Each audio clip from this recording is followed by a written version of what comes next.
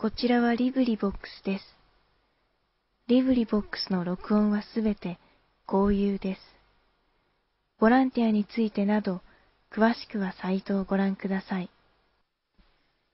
百人一首藤原の定家千61から70までいにしえの奈良の都の八重桜今日九重に匂いぬるかな。伊勢の大夫。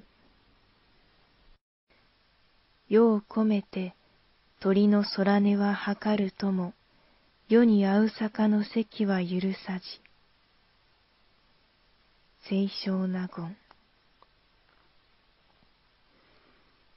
今はただ思い絶えなんとばかりを人づてならで言うよしもがな。左京の大部道政朝ぼらけ宇治の川切絶え絶えに現れ渡るせぜのあじろぎ。今中納言貞より。恨みわび、干さぬ袖田にあるものを、恋に口なんなこそ押しけれ。相模。もろともに、哀れと思え山桜、花より他に知る人もなし。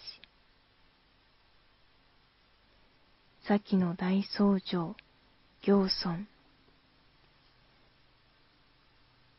春の夜の夢ばかりなる玉倉に、かいなくたたん、なこそ押しけれ。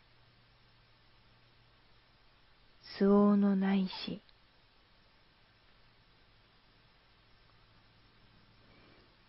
心にもあらで浮世に流らえば、恋しかるべき弱の月かな。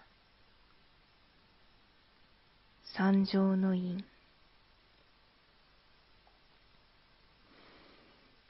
嵐吹く三室の山のもみじ場は、立つたの川の錦なりけり。農院奉仕。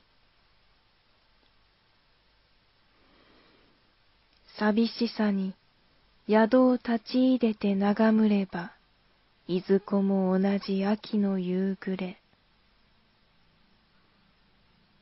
良前奉仕